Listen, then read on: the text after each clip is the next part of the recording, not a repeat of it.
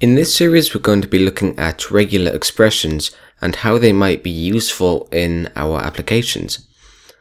Now regular expressions aren't just used in PHP. They're used in all programming languages, things like JavaScript and Python, so it's a very important skill to have.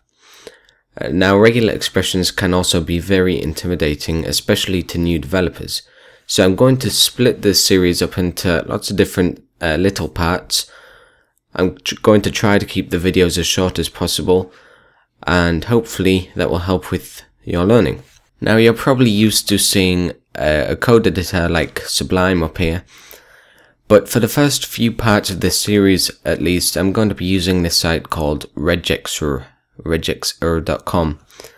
And this allows me to enter some text and match it with a regular expression in real time and this is where I develop all of my regular expressions. It's a very good site to have, so make sure to bookmark it. They also have a app. I think it's a Java app, so it'll work on all operating systems. So do check that out. Now, the last thing that I would like to mention before we continue with this series is that regular expressions, or regex for short, is not a programming language contrary to popular belief. It's actually a kind of formal grammar, if you will.